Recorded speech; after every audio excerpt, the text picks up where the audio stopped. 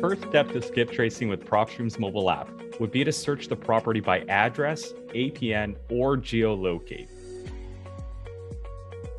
Once you're in the property's details, locate the skip trace icon and tap Run Skip Trace. A pop up will inform you that your PropStream's wallet will be deducted a fee. The pop up will also display your wallet amount. To add credits to your wallet, go to the settings page within the desktop version and locate the prepaid credits option at the bottom right of the profile slash billing settings tab. Now let's go back to the mobile app and select proceed to continue. In a few moments, the homeowner's contact information will be displayed.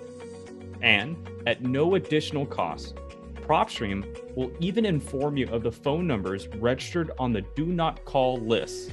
Numbers and emails are also hyperlinked, so you can call the homeowner immediately or send an email using your email application. Thank you for watching.